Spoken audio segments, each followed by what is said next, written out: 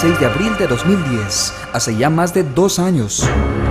Tuvo lugar uno de los peores momentos que han tenido que pasar más de mil familias, cuando las caudalosas aguas de los ríos Tena, Pano, Misahuallí y el Napo no solo irrumpieron en la tranquilidad de las familias mientras dormían,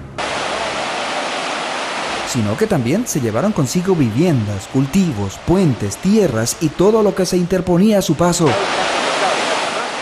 A estos tres cantones se los declaró en emergencia y como respuesta inmediata, en ese mismo año los ministerios de Desarrollo Urbano y Vivienda, Transportes y Obras Públicas, de Educación y la Secretaría Nacional de Gestión de Riesgos hicieron la transferencia de más de 33 millones de dólares.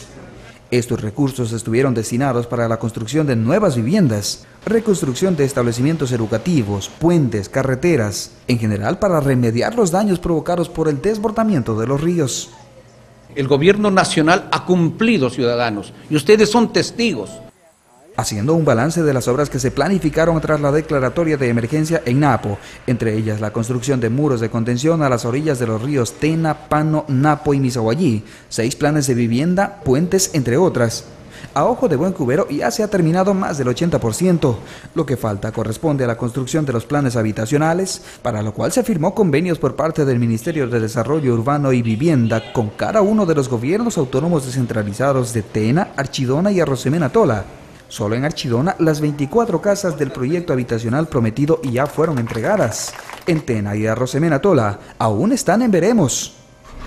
Bueno, por el momento estamos haciendo una unas cajas de revisiones para las aguas servidas que, de, este, esta estación San José. Ha habido un retraso que está dentro del cronograma en los convenios firmados Midubi con los gobiernos seccionales. El GAT municipal de Tena continúa con la construcción de las viviendas. Los estudios para la dotación de los servicios básicos para los planes de vivienda tanto en Bajongota, Aguano y San Antonio ya fueron presentados al Banco del Estado para su financiamiento. Mientras tanto, cerca de 300 familias, especialmente de la comunidad Quichua Bajongota y la parroquia Aguano, aún tienen que seguir esperando que sus casas estén habitables para poder ocuparlas. Juan Sarmiento Inunque, Ecuador TV, su televisión pública.